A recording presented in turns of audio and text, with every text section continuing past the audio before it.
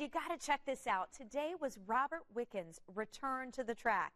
He's been recovering from a serious spinal cord injury after a crash in Pocono back in 2018. But he tweeted this video of how he got back in his car today. So great to see him competing.